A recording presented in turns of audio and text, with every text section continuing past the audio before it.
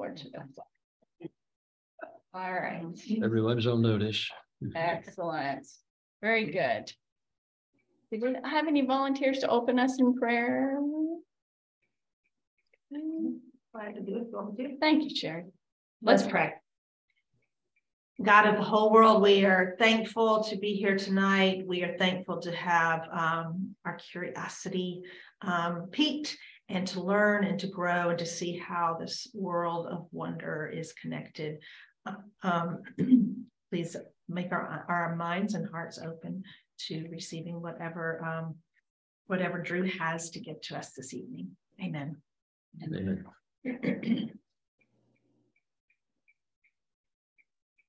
All right, let's see if we can get the technology to work.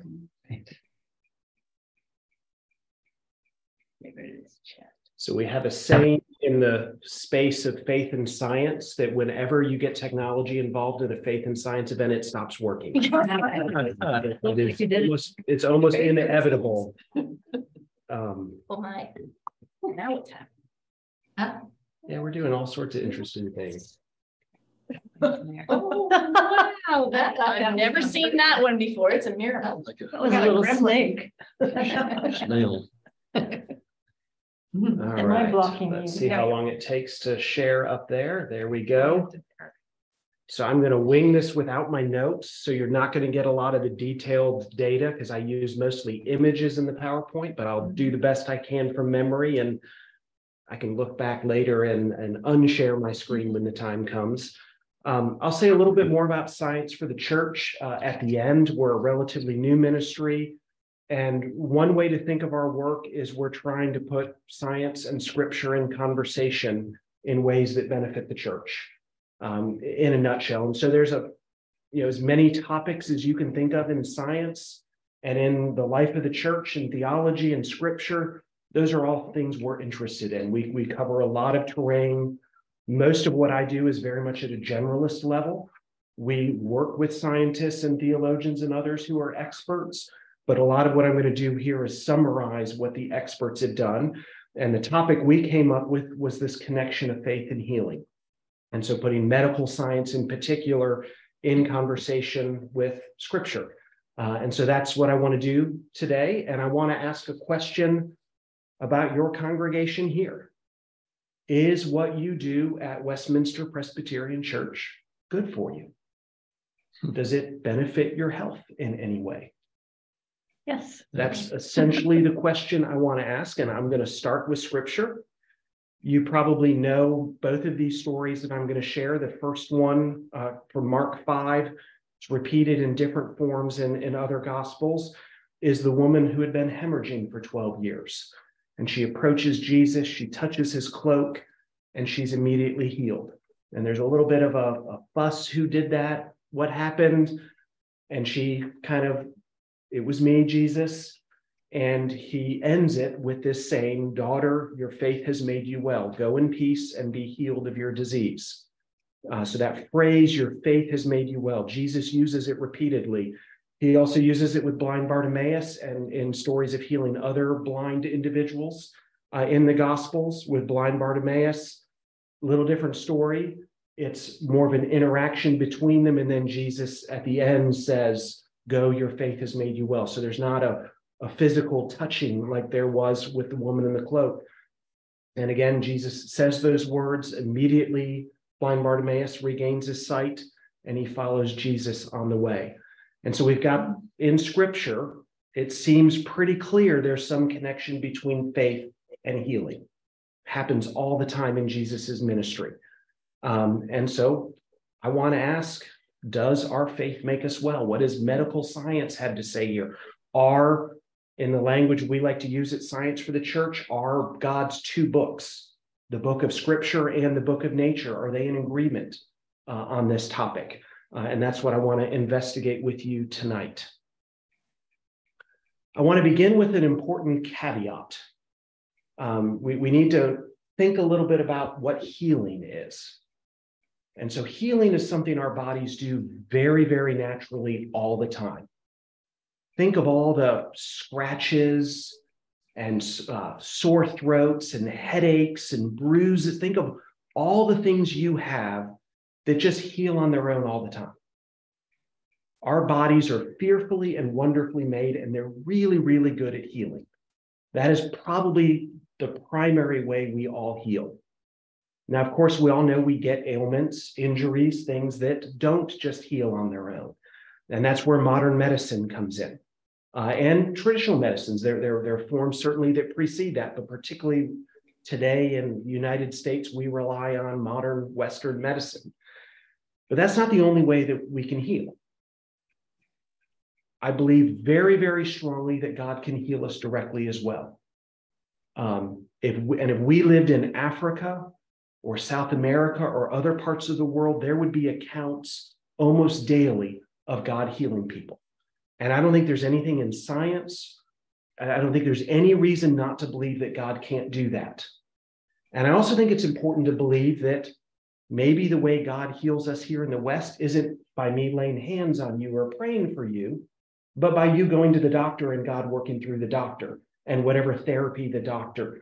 God can work through all of those mechanisms through the, our natural ability to heal, through something like prayer or touch or holy water, or through Western medical science. Those are all ways that God can heal. And I don't want to have any opposition between any of them. I don't see any reason for it. So that's the first caveat I want to offer.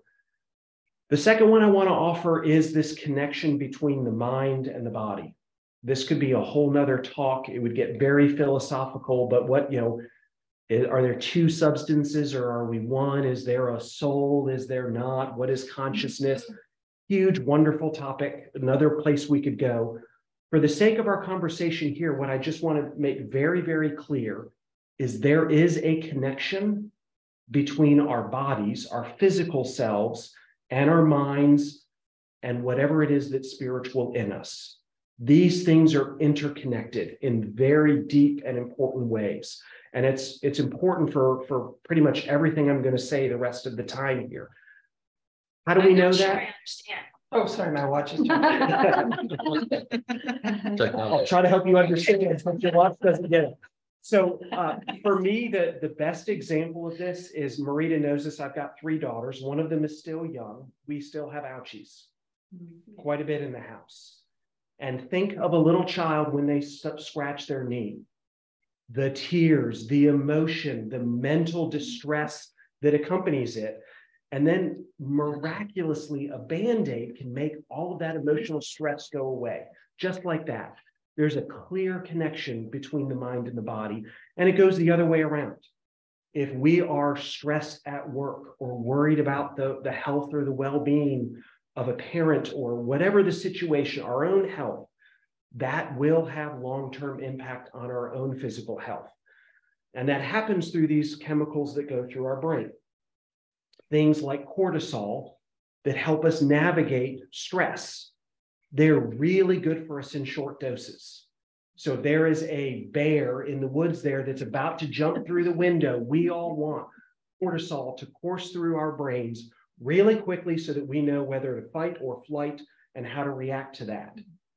But if that cortisol is running through our brains for long periods of time, that's really bad for us.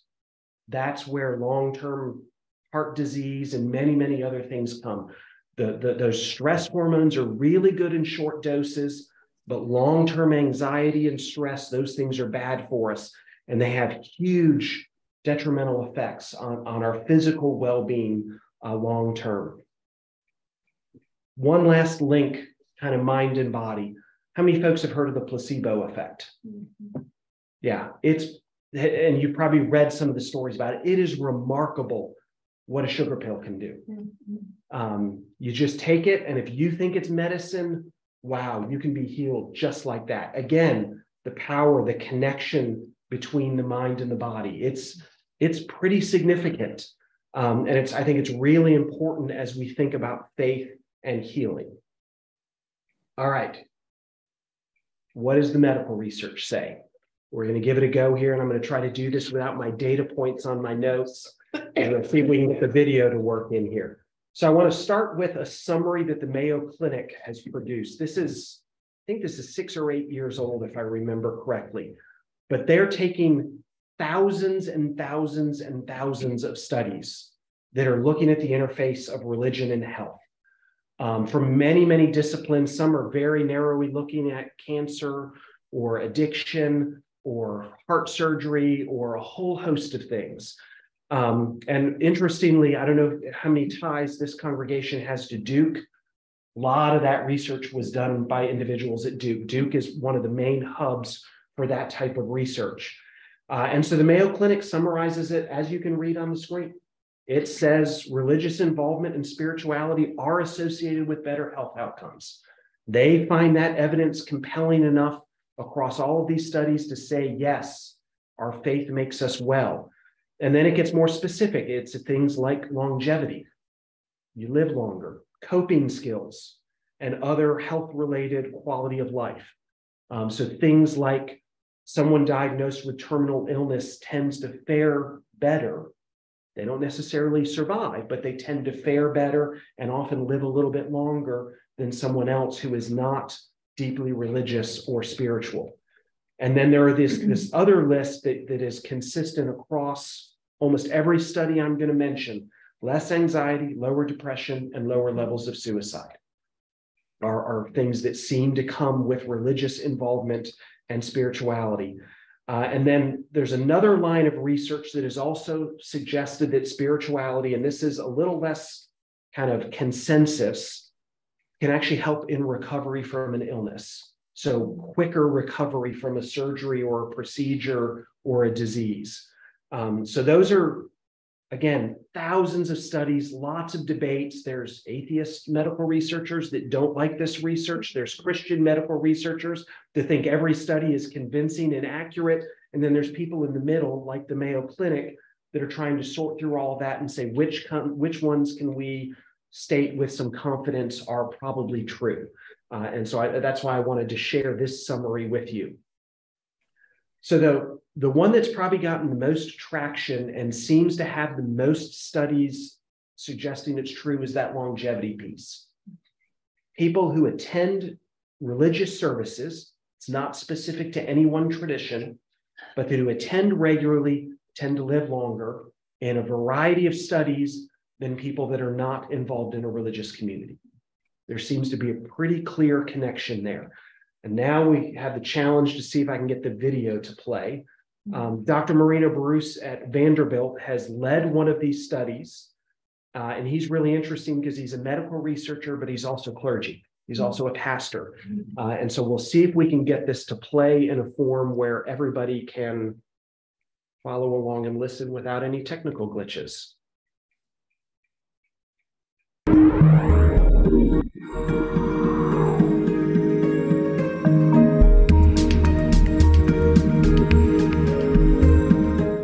We found in our study that actually attending church is actually good for your health, particularly for those who are between the ages of 40 and 65.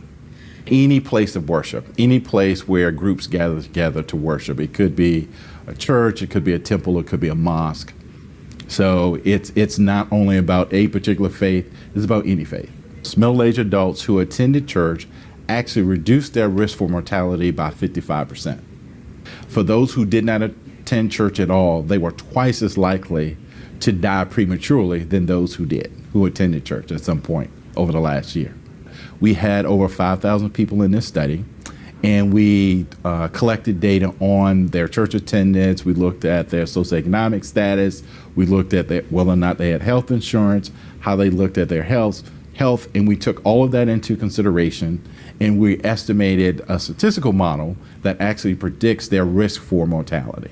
I'm ordained clergy, so I'm always um, thinking about what do we mean by spiritual health? Does spiritual health matter uh, with respect to biological outcomes? And so we we have a study looking at a large sample of adults between 40 and 65, and we found that you know what by uh, being in a place where you can flex those spiritual muscles actually are beneficial for your health.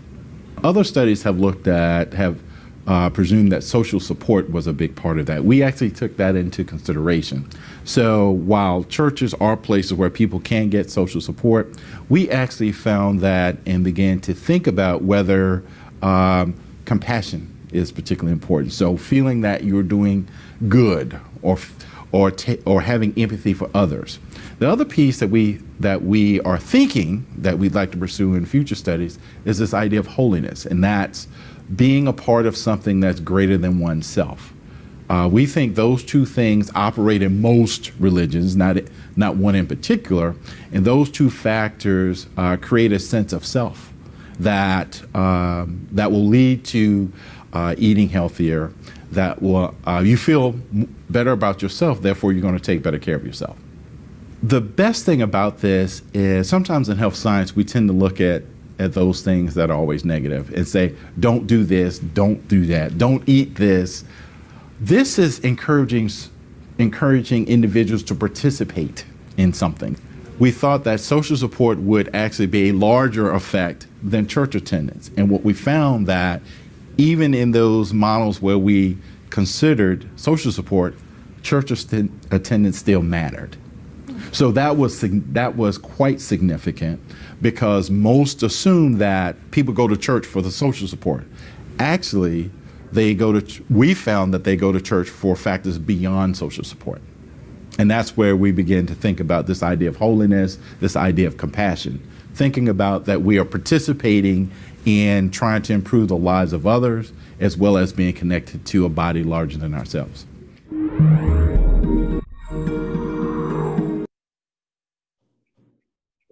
See if I can get the next slide to go. This was one of the places where we had some issues before. There we go. I don't know if there's a way to check. Could the people online hear and follow that video okay? We can we can send you a link to it. Good, yeah, good.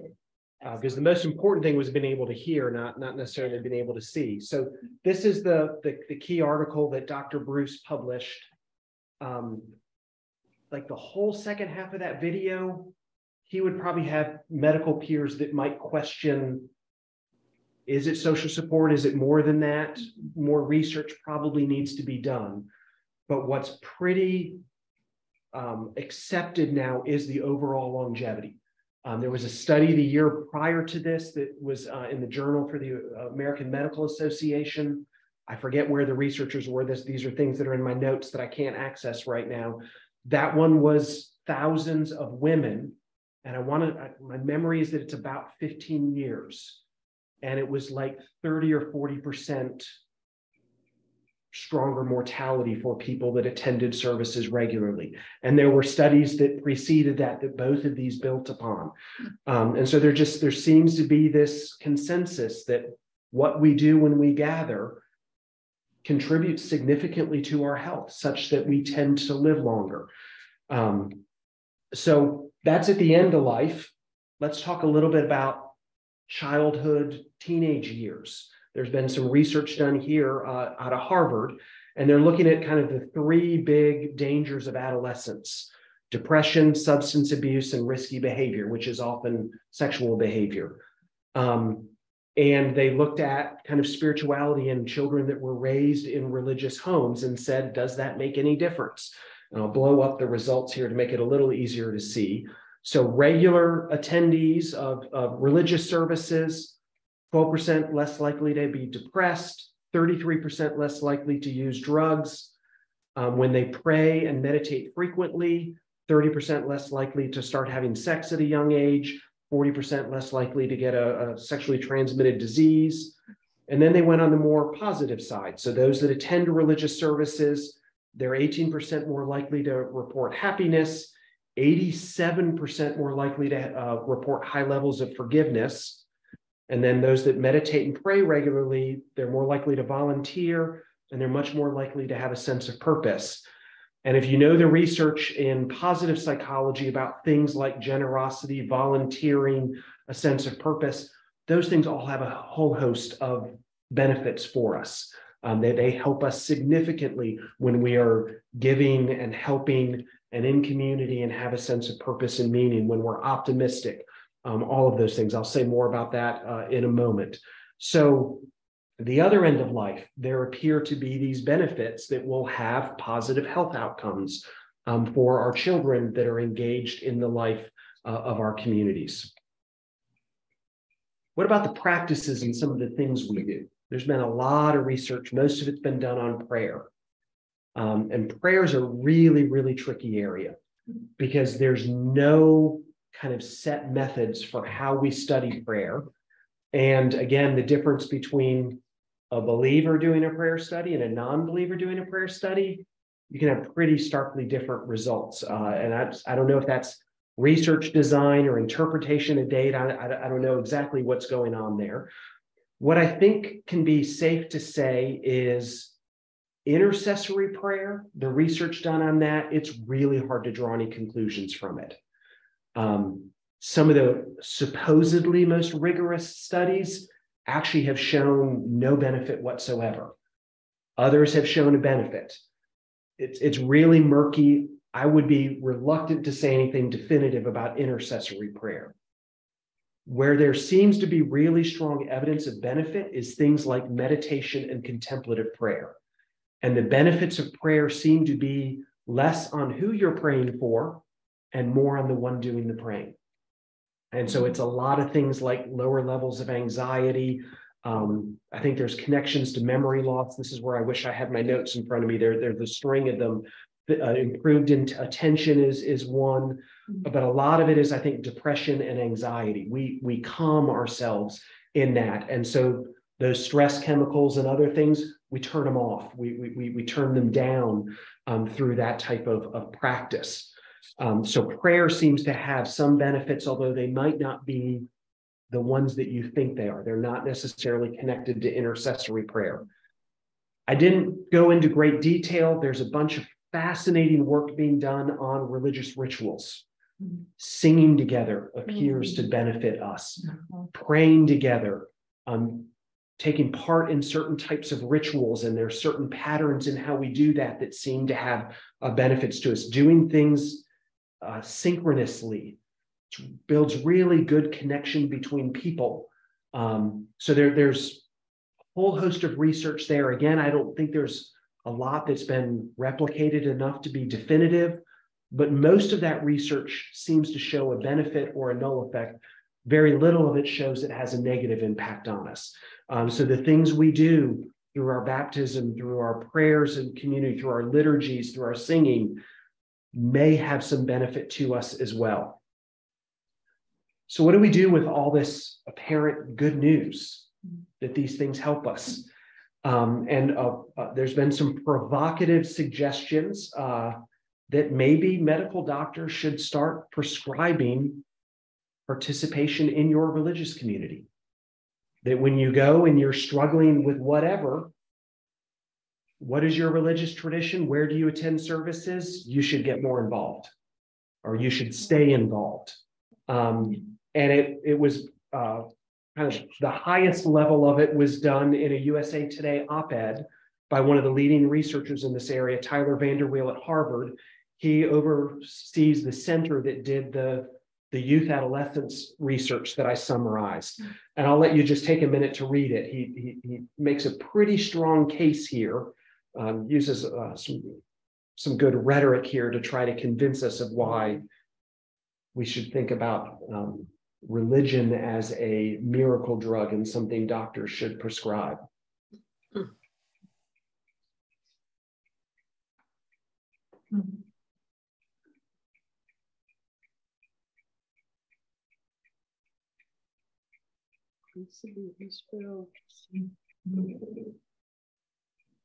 So now Tyler VanderWeele is a Christian.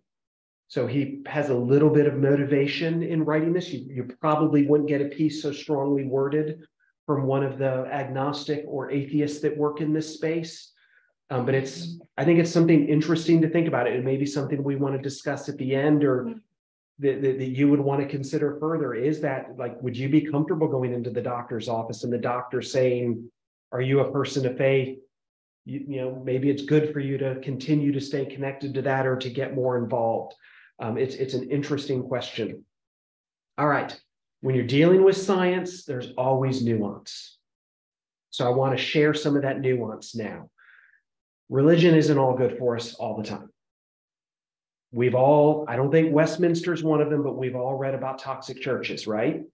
Where abuse and other, those are not good for us. Um, likewise, there's certain theologies that we have sometimes collectively, most of the time individually. So if we believe God is the lawgiver who punishes and rewards, and God is punishing us when we're sick, that's probably not going to be very good for your health. That's going to bring on anxiety when you're ill rather than have some of the benefits we talked about. There are things like unforgiveness. Um, there's there's a really old video that I I'd love to be able to show, but I haven't found a digital form of it, um, where a woman remembers a partner who abused her, and they've got her wired up to forget if it's blood pressure or heart rate or one of those monitors. And it's an older thing, and you just see the thing spike the minute the researcher asks her to remember that. You relive those situations all the time, and they're not good long term for your health. Um, so there are aspects that are not good for us. I think overwhelmingly what I said is is all true, but we have to remember these caveats. And you certainly wouldn't want to encourage someone to go to a church where there's a history of trauma or abuse or, or where some of these ideas uh, are, are communicated. That would not be beneficial. All right, so why does this seem to be the case? I want to get at some of those, those questions that Dr. Bruce got at, things like social support, and, and unpack a little bit why there seems to be this benefit uh, to us. So, the number one reason you see in the literature is social support. We are social animals. We do not do well when we're alone.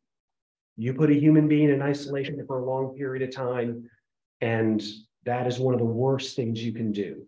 We are created to be in relationship, uh, and we thrive in relationships. Even things as simple as hand on the shoulder has real benefits to most of us. Um, and all the ways we pray, support, take care, interact. Every time I go into West Raleigh and somebody comes up and says, Drew, how's your mom doing? My mom had a stroke a couple years ago. That's really good for me. Um, those sorts of things really, really do make a difference. And there's a lot of people that are not believers that would say all of the benefits that you see in these religion and health, that it's all social support. And what is good about a church is it provides social support in ways that other organizations, parts of our community do not.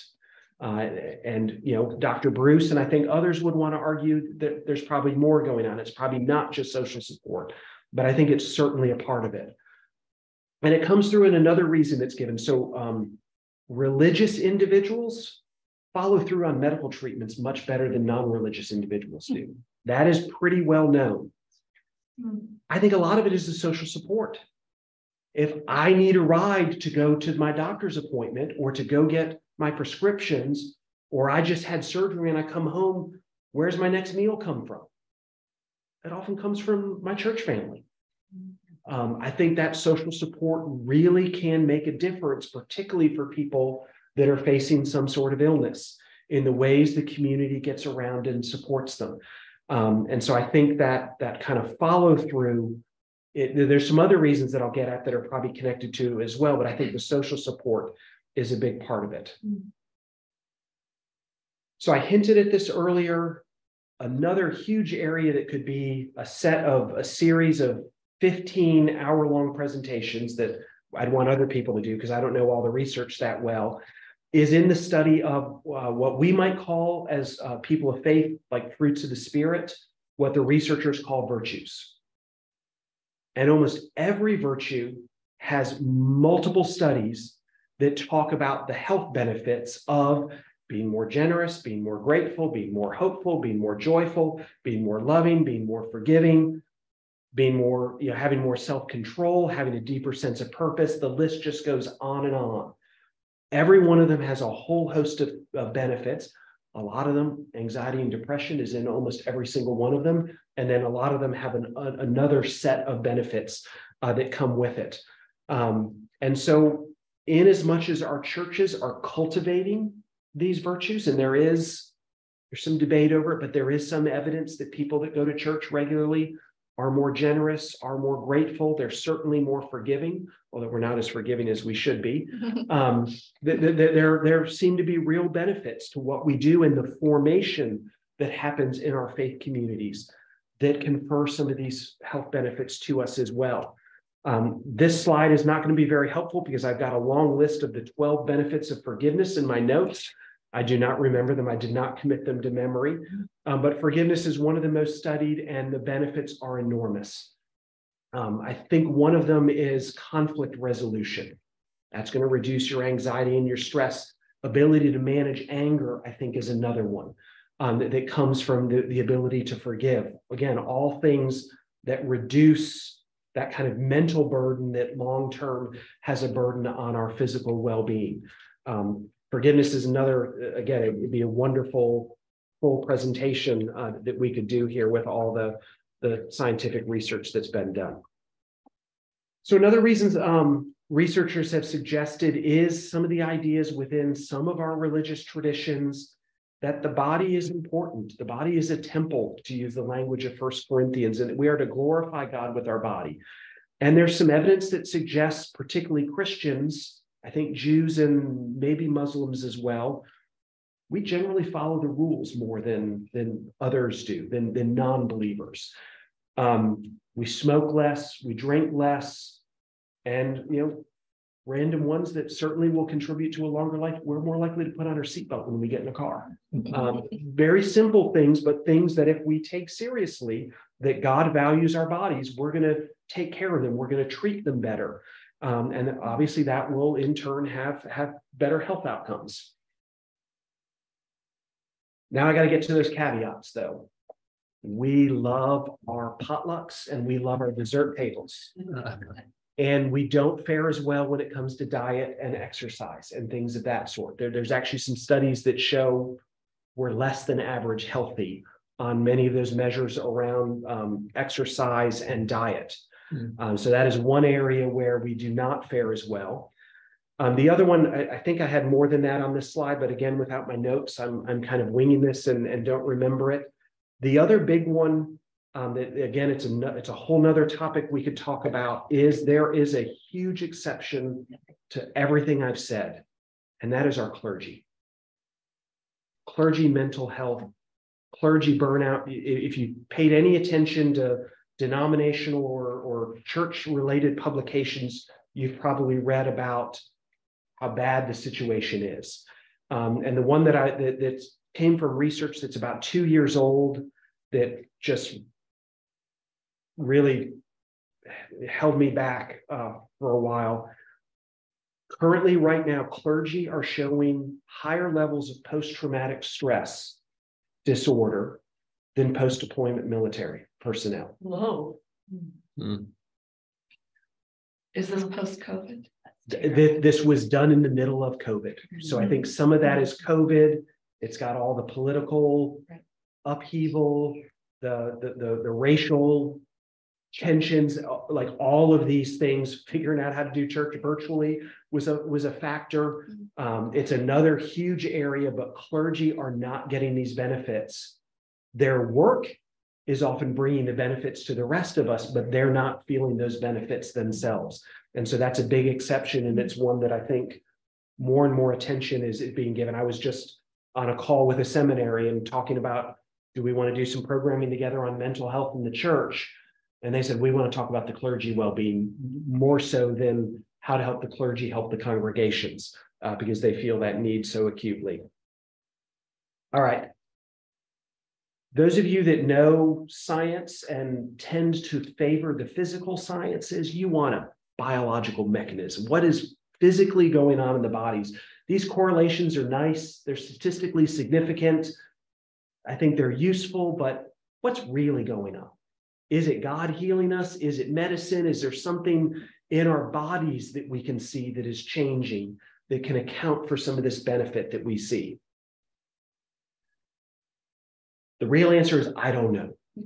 I don't think anybody really knows, but there is some really interesting evidence in telomeres. These are the ends of our chromosomes. And you can take telomeres and you can look at the length and you can tell someone's age biologically. And so you can look at somebody that had a really easy life and somebody that had a really hard life, and they're the same age, and their telomeres are going to be different lengths. And that's kind of the physical age based on their life experience. Mm. And there is some evidence, there are some studies that have been done that show religious people tend to, at the same age, have longer telomeres than their non-religious peers. I may not totally be doing justice to that study, but it, it's a, it's the connection with, forget if it's a religious service participation or what the the level of religiosity, but there there seems to be a connection there uh, in our telomeres, and so I think there's been some work, but I think it was questioned about white blood cell count, like immune system functioning, uh, and some of these things. That there are researchers that are trying to understand is there something biological going on here? And I think it's fascinating research. It could be decades before we really know definitively if we can say it is telomeres, it is immune system, or, or what it might be, uh, if we ever discover it. What I want to end uh, or, or move towards wrapping up on is again this connection. God can work through all these things. God can through our faith, through our participation, through God's own grace, give us shorter telomeres. These things are not impossible. God can work through medical science, the immune system, or a faith healer. All of those things I think God can work for to bring about this healing. Um, and so I don't want you to leave this feeling threatened if we never find a biomarker. Well, that means this isn't real. No, God can still work through these things. Um, it's not an either or. Um, we, we don't have to make that, that kind of distinction. All right. As I move towards wrapping up, there's a real healthy um, analogy that I found to summarize all of the research in religion and health. Um, that and, and, I think it, it it helps me to make sense of a lot of what I just presented to you. Like 80% of the studies are looking at religion, religious service attendance, religious practices like a vaccine mm-hmm. to prevent poor health later on. And only about 20% are looking at religion, prayer, religiosity, service attendance like a medication. I'm sick, now I take a pill. Um, and so most of the evidence that, that seems to be compelling religion works more like a vaccine. It has a benefit long term. It helps us prevent ailments later in life. Um, there's not any good evidence that I know of, other than maybe slightly quicker recovery from something like a heart procedure, um, where it works like a medicine. And you saw that um, if you went back and looked at that Mayo Clinic quote, the bulk of it, it's only the last line that is thinking of religion, spirituality like a medicine. All the rest are more like a vaccine. It seems to prevent against these things. And that's not surprising because the, the, the recurring theme is often mental health. It's anxiety, it's depression, it's stress, it's suicide, it's lower levels of addiction, which I don't think I mentioned, but is a part of many of the studies. Having lower levels of those things are going to prevent long term health issues. Um, and so a lot of this work, I think, is very relevant to the mental health crisis that we're in. Um, and I've, I've done this same presentation and I've reframed it and said this whole thing's about mental health mm-hmm. because it, in some ways it really is. Um, and in case you're interested, again, I don't have the data, but I think it's one in five Americans have a diagnosed mental illness. Um, 90% of Americans back in October said we are in the middle of a mental health crisis at levels most of us don't ever remember experiencing. And then the levels of overdose and addiction uh, and a whole host of things are just the charts are all spiking up since the pandemic. Uh, and so this is a this is a real crisis uh, that, that, that, the church and culture and medicine that we're all trying to address uh, as as we think about these issues. All right. Have I convinced you that science and scripture kind of agree with a few nuances? It's not entirely clear that there's this connection between faith and, and well being. It's hard to know what to do with that. Um, I don't think any of us attend church. because we want to have less risk of heart disease later on. That's not why we attend church. We attend church for, for very, very different reasons. But at the same time, it's also not surprising that, that being the body of Christ, doing the things that God wants us to do are good for us. Um, and so I think it's it's important to kind of balance those two. To me, the end of the day, it's an encouragement that what we do is worth continuing to do. Um, those little extra things that you might do on a Sunday morning or on a weekday to support your church family, they really are valuable. Keep doing them. Um, that is, I think, a big reason why we see these benefits uh, that, that the researchers are finding. So I hope that can be a, a bit of an encouragement for you. I don't want to make any prosperity gospel kind of suggestions here that if you only believe, you'll get these benefits. I don't see it that way. I, I see it in, in, in, a different light, but um, but one that is still encouraging uh, to us in the church. Mm-hmm. All right, I will pause there. I can, or I can say more about science for the church, or I can pause there for some discussion. Depends on what the what the group is interested in. So let's open it up for some some questions. I thought it was interesting that the intercess- intercessory prayer wasn't as effective as meditation, meditation and con- contemplative prayer. But I do have a group from high school that we stay in touch with. I'm from Colorado and um, we're scattered all over the world now. But we have this big list serve, and whenever anybody gets sick, they reach out for more prayers. I think they believe deeply that if we're praying for them, they're going to get better. And they've it's happened a couple of times anyway. So Yep. Mm-hmm. Yeah, there's the intercessory prayer studies are really hard because to do them properly, you have to do something that none of us want to do, and that is not pray for some people to be healed. Control study. You got to have a control. and so how you set up a control in a prayer study where where you have kind of can get good data is really complicated. Um, and subjects that are involved is somebody praying for me or not? I don't know. Is am I being uh, you know is this going to be good for like there's all sorts of complicated dynamics in it that make it really difficult to study scientifically. sure, Um, can Um, and so I don't, I, I would want to be agnostic rather than say prayer doesn't help us, intercessory prayer. We just, we, it's not something that, that science can really comment significantly on now. Uh, and I tend to be with you. I think God, God does answer our prayers, but God, we also know God doesn't always answer That's those right. intercessory prayers. We wrestle with that dynamic ourselves. Yeah, it, it strikes me. If, if you want your next door neighbor Joe to get better, you know, you pray for him, but you pray for yourself to take him a bowl of soup, you Mhm. know, or to hold his hand or something. Yep. Yeah. I was thinking about one thing that really supports all you're saying from kind of a hard nosed accounting standpoint. The people that run hospitals, you know, pay a chaplain to come in. And I know that's more acute illness than the depression and, you know, scratching your mm-hmm. knee. But uh, it, it seems that strong validation. And then we, we had a parish nurse here for a mm-hmm. while, Kay Wallama, she's not here. So churches must be recognizing the importance of this too. Mm-hmm. And- Yeah, And, and and the military chaplains. And I think in the last fifteen years, there's been more general support in the medical community for chaplains. Recognizing their value than there would have been two or three decades. Like there was a period of time and then there was a, why are we paying these people?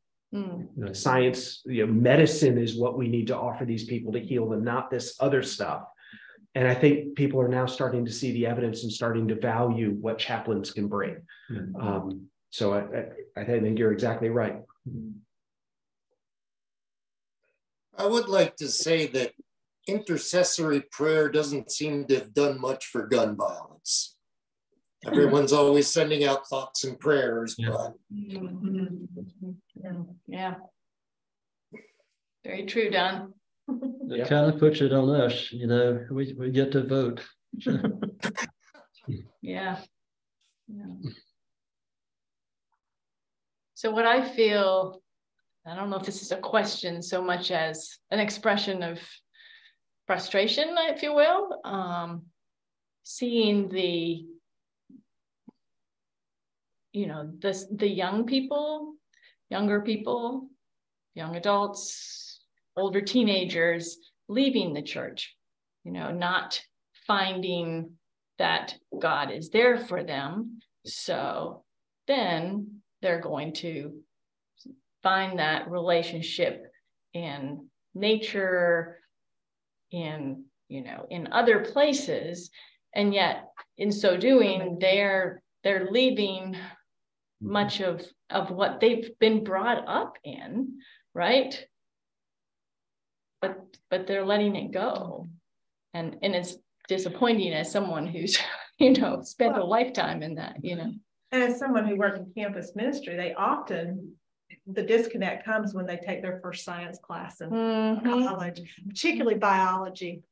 Yeah. it's got to yeah. call biology out. It's really interesting. I mean, my my students at Duke who are physics majors um, or engineers, they seem to be able to stay alongside faith, but boy, biology and, and it was always over evolution. Yeah. Mm-hmm. Interesting that the social sciences have the highest rates of atheism.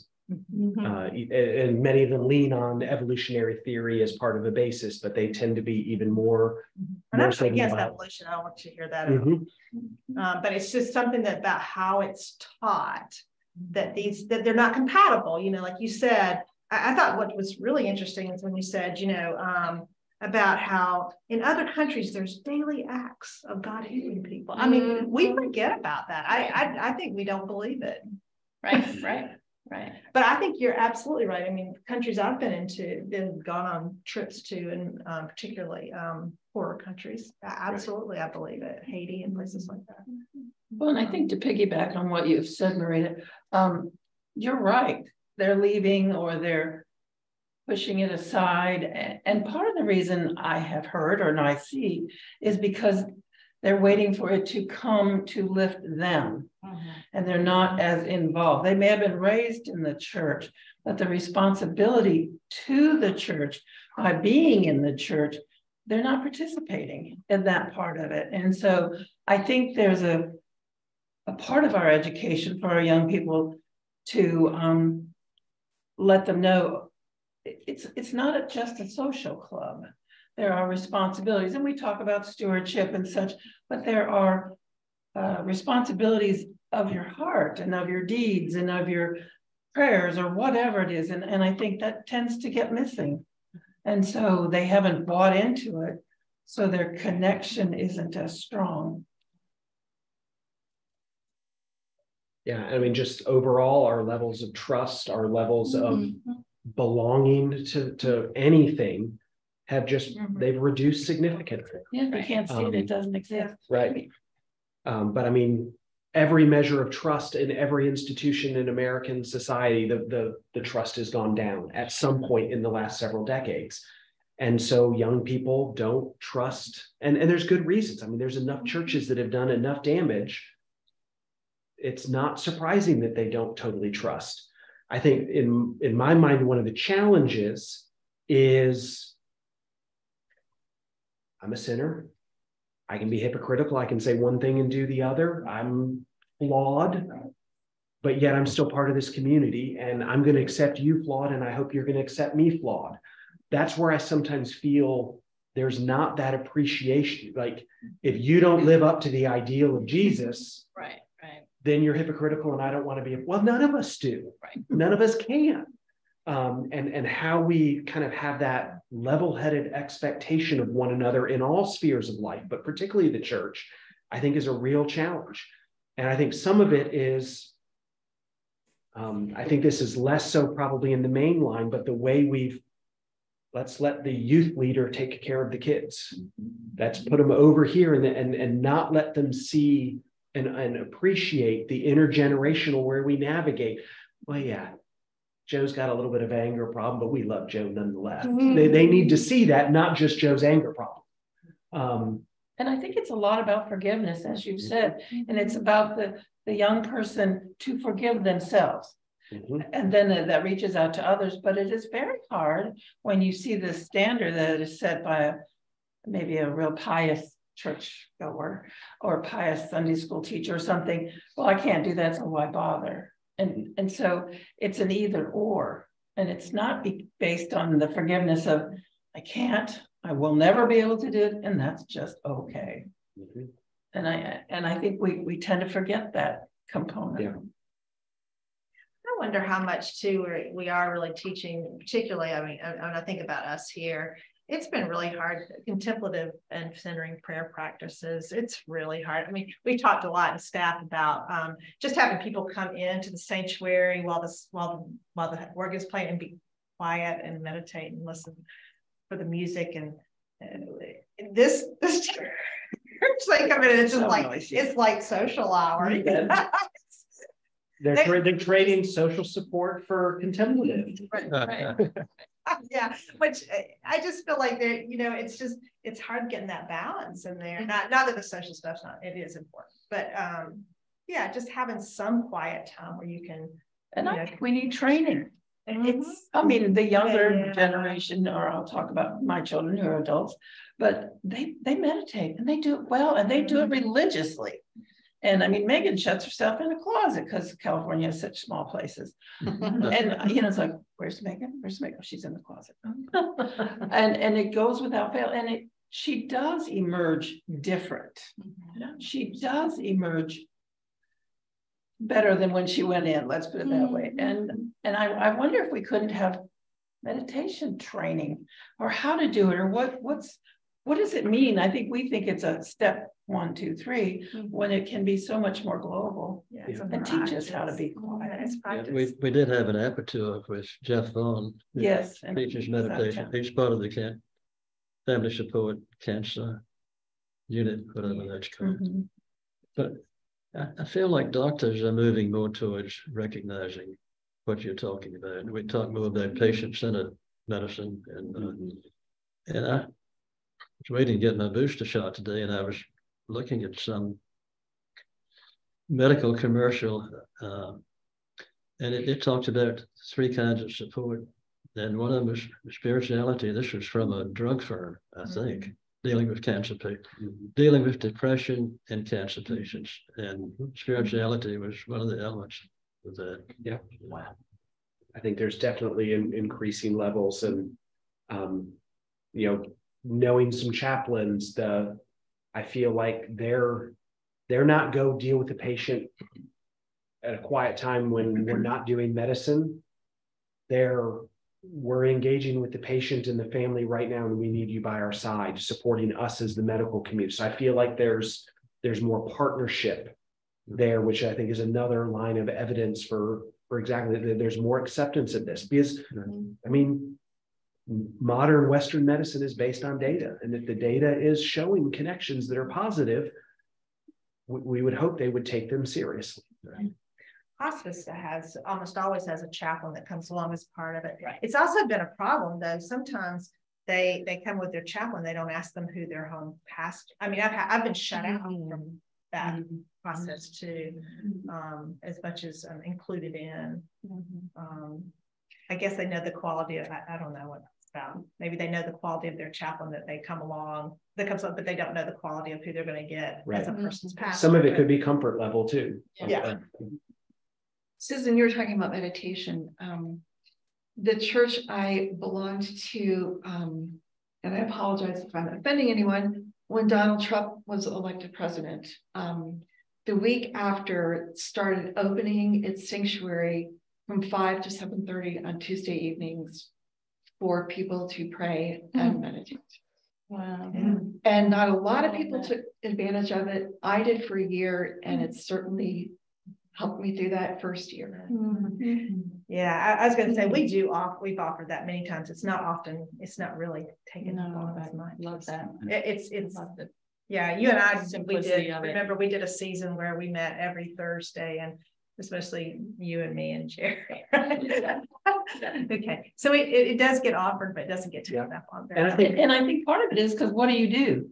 You know, for a person who's not a meditative, are you gonna pray the whole time? Can you just sit and listen to quiet? Those are sort of helpful training tips Sure. that Yeah. let you know, can you repeat a phrase? I mean, we, we all see the person cross-legged, sitting Yeah. down, crisscross applesauce. Well, I'd still be there all week long because I couldn't get up. But nonetheless, you know, if I sort of had a, a ritual like I know I will have in church, I know what comes first and second, third. It's Yeah. very supportive. Mm-hmm. Yeah, Yeah, we do I- our healing and wholeness services. I think you, if you, you can cover some of those things, I think you will begin to learn. When you come, you'll begin to learn some Yeah. things. Um, it's not all at once. It takes practice. It's an art. And, and there may also be creative ways, um, you know, another thing that's really good for us is to be out in nature. Mm. Being in this room is not that good for us with artificial light and, and everything, but being out in nature really, so walk and meditate as a group. I Have think- that be an, an event. Meet the people that don't want to come into a sanctuary, but they want to be outside on a Sunday. So. We had a lab. You do it with your dog. I do Yeah. it with my dog. Yeah, Yeah. And I know I'm meditating and engaging with nature. So it's not, I mean, I'm not saying I understand what meditation is, but I, my mind is going places where it doesn't usually go. Mhm. Yeah. It's good. Yeah. My dog sits in the road when he gets tired. I have Carry him home. He's meditating. And you're exercising. Are there other questions from the, from around the table? Someone who hasn't asked a question yet that has something on their heart?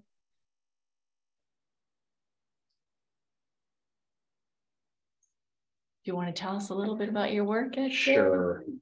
See if I can get this to share my screen one more time. I may not, uh, go full way. I'll just share this. with you. Oh, okay. Interesting. So just a little bit about Science for the Church. Um, so we grow out of a series of programs that I was involved with when I was at Templeton and then in the years afterwards that we were trying to get more churches, more clergy to engage science and to engage it in a better way. Um, and we found again and again with the churches that we were able to fund and, and you know actually intentionally did things by a whole host of measures that benefited the church. New people showed up. Um, scientists grew spiritually. Everybody learned science. Pastors say they grew spiritually. Lay people say they grew spiritually from being a part of these programs. Um, churches got a reputation in their community. They became known for this. Churches said, oh, well, we tackled science, that election was pretty tough. I bet we can talk about political division too, because we can talk about science and faith. So they were, they learned skills that they could apply to other difficult topics. Uh, and so that kind of led to, we want to formalize this. We want to try to advance this and not just run another program with a new name and a new acronym, but create a ministry that, that supports that. Um, and we have, let me see if I can. There we go. So we have taken some of those lessons that'll change in just a sec there for those of you online. Um, we have created what we call the standard model. We, we love science, so we had to play on particle physics with this one, but it is essentially the lessons we learned from those programs that conferred those benefits, a real short six-step guide. How do you do that? Um, and really, it's it's about one step. It's about science professionals and church leaders intentionally working together and figuring out what makes sense in their community. Because every community is different. Every community is going to be wanting to engage different areas of science. Uh, a farming community versus a medical research area, different topics, different expertise, different interests. But you can do that together. You can we're trying to ramp up our, our campus ministry. Well, that's going to be a different thing than a ministry to older adults. Um, we have a vibrant uh, um, worship time, and we really want to think about integrating science there. Well, that's another church may want to do it in the Sunday school hour. Um, all of those things you can do contextually, but you got to have these relationships because most clergy are not going to raise their hand and say, let me tell you about biochemistry. I remember my, bi-. no, they, that's not what their focus is. And most biochemists aren't going to say, well, let me tell you about my Bible classes in undergrad. Um, they, they don't have that expertise. So let them learn from one another uh, and share. Um, so we also are the main thing, the main activity we provide for the church right now is our weekly newsletter. Um, it's going to come up there in a sec. Sorry about the delay. Uh, every Tuesday, we deal with a, a practical topic. We deal with a, a scientific theme. Um, we just published this week a devotional um, that, that uses science to kind of inform scripture. Uh, I wrote that one on memory um, and linking that to scripture. Whole host of topics to try to help the church imagine what this might look like. We interview scientists, we interview pastors, we profile churches. We're kind of all over the place. Uh, if you're looking for one united theme, we're not. You're you're you know we're not going to work very well for you because we're we're trying to help the church appreciate the breadth of ways I think Marita has some sign up sheets that she can pass around. For those of you that are technologically savvy, you can do the QR code there.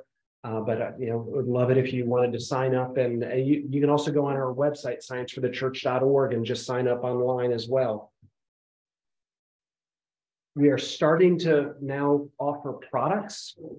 Um, so the first one we released was a devotional that was written by a biologist. Uh, and she takes several stories and aspects of the life of Christ and puts them in conversation, particularly with the biological sciences.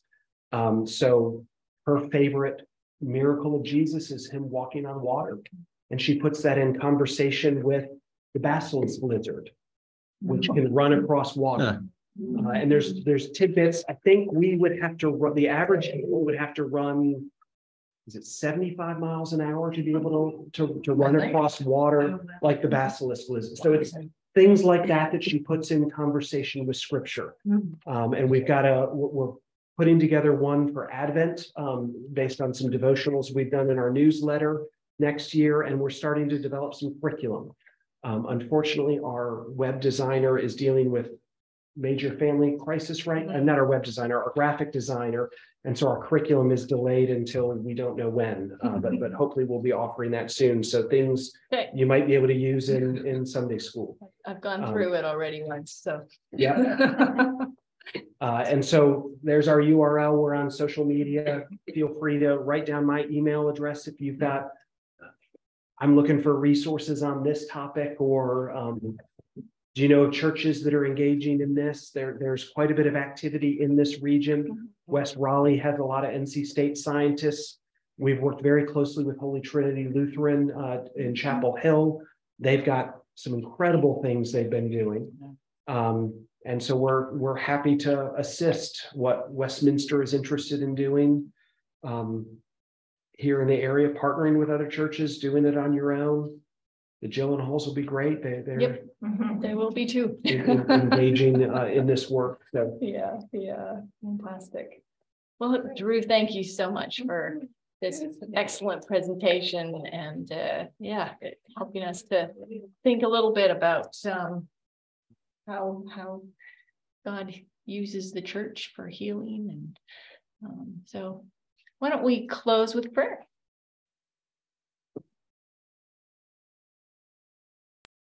Gracious God, we thank you for creating each of us fearfully and wonderfully. We thank you, Lord, for the gift of healing, for the gift of church and of faith. We thank you for the gift of community. Thank you for using all of these to bring about healing and wholeness and blessing. We pray that as we go from this place, that you will keep us in your care, that you will continue to shine within us and shine from us, that others may see your light all around. In Jesus' name, amen.